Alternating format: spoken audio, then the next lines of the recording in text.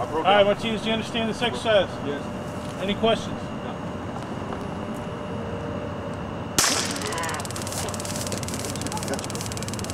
You're good, bro. You're good. Yeah, we'll see if it. Good ride, brother. Whoa. Good ride. Fuck, yeah. What, uh, what, how'd it make you feel? It's good, it's good. Hey, That was weird, man. It's wearing off. Yeah. Okay, but now you feel you're good to go, aren't you? Yeah. Turn it off. Unlike OC next week, we're gonna ask you guys the same thing. You're like, oh, turn the lights out, it hurts. Okay, now he's fine.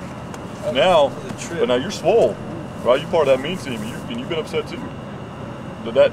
You still want to fight us? You still want to, now you the police officer. How do you think that's gonna help you be safe? And think about the bad guy as well too. I asked you guys this as a class. Do you want five seconds? What's more humane? Think about this. Five seconds with a taser, is he fine? Or five seconds with the baton? Think about it. Tasers. Five seconds with a taser or five seconds with a baton. And you have one of the most experts in use of force sitting in your class as your instructor. And uh, I promise you, Larry will tell you, when the ASP batons are being struck, do you see officers only going and striking for five seconds? Think about it. What's more humane of a tool? Taser. Taser outstanding, right? All right. Good hook? Yeah. I'll give Good good round of go, applause. Larry, man.